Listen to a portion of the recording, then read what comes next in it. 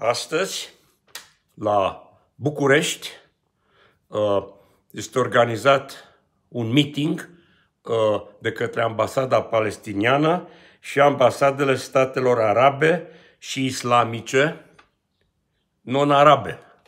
Uh, ei speră ca acest meeting să fie de anvergura celor din Uniunea Europeană. Probabil că nu se va întâmpla așa ceva din două motive. Pentru că avem un număr relativ redus de palestinieni și chiar de arabi în țară și în al doilea rând aceștia sunt uh, oameni care sunt disciplinați și uh, s-au integrat uh, cât au putut de bine în societatea românească.